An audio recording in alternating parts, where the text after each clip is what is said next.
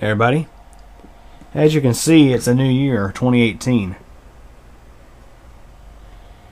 On December 31st, 2017, Microsoft um, considered that date as the end of free Windows 10 upgrades for customers who are using like the accessibility products of the operating system. Truth be told, um, you could still upgrade to Windows 10 for free just from any Windows 7 machine, just um, well, excluding Enterprise Windows, but just by downloading the Media Creation tool and doing an upgrade install or running booting off of your installation media and typing in your Windows 7 product key or your Windows 8 product key. Well, here it is 2018 and let's see if we can still do a free Windows 10 upgrade. We have a clean install Windows 7 on here that is activated. So let's go ahead and pop in the installation USB. And let's see if we can do an upgrade that will be activated.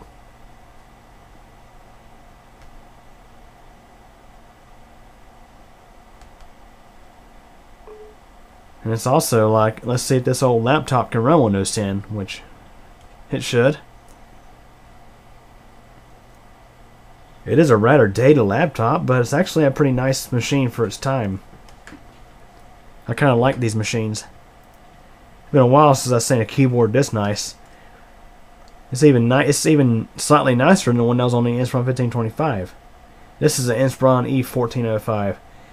It has an Intel Core Duo. No, not Core 2 Duo, but Core Duo processor.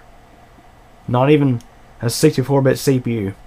And I believe it's based off the old P6 architecture. That was the same architecture as the Pentium Pro, Pentium 2, Pentium 3 were based off of.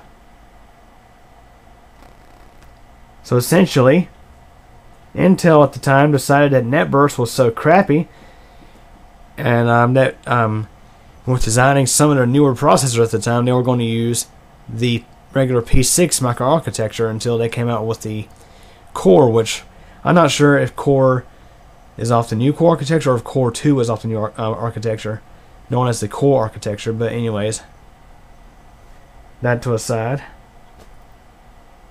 Now the setup utility should run as usual. We'll accept the license terms. Okay, we're going to start the installation. And once it's all done, we'll see the end result. Okay, now Windows 10 is installed, we just need to go ahead and run through the out-of-box experience.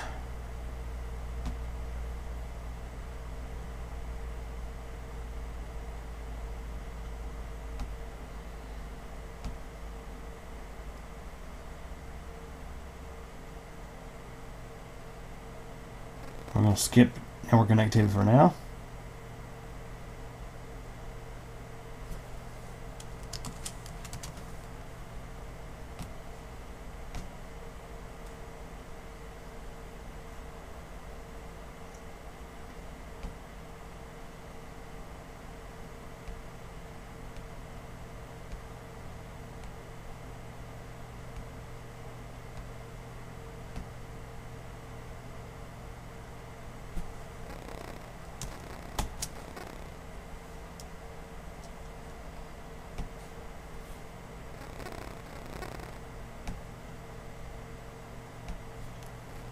we're clearly missing some drivers, but let's go ahead and plug in our network cable.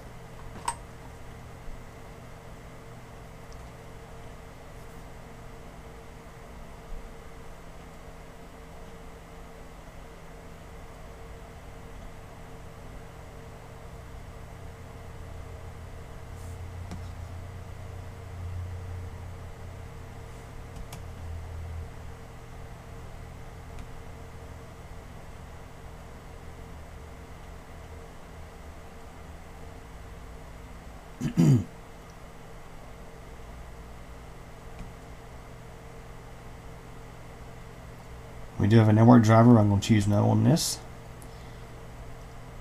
So we are on a network now. At least connected to the internet at least.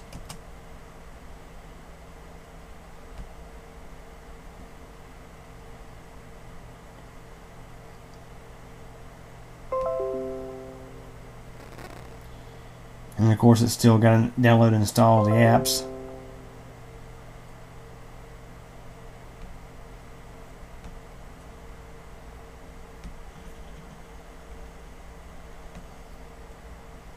Let's go to settings.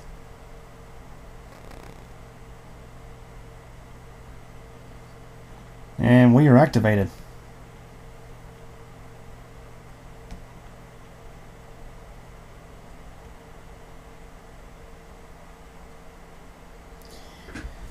It's taking a while because this machine isn't the newest and greatest, and also it's doing stuff in the background as well. Activation. And let's see. And we are activated. So, looks like we can still upgrade Windows 7 and Windows 8 to Windows 10 in 2018. Now, we can't guarantee that this, this will continue to work, but um, pretty cool is they have this. Microsoft has essentially left the door open secretly. They have said, okay, we can't do it anymore, but um, without saying anything, we're, we're going to leave the door unlocked so you can just walk right in and do it. so, anyways, hope you guys enjoyed this video. Hopefully, it answers your question, and thanks for watching. Hey, everybody. I sure hope you guys enjoyed this video from Cube Computer Channel. Remember to like the video, subscribe to CubeComputer channel for more updates, and remember to tick the bell so that we actually get notified of these updates. Did you know that I am also on a second channel that's CubeComp MTDX? Over there you'll find videos of bicycling, weather, elevators, and all sorts of other neat and interesting stuff. Feel free to subscribe to that channel as well. And again, I thank you for your support, and thanks for watching this video.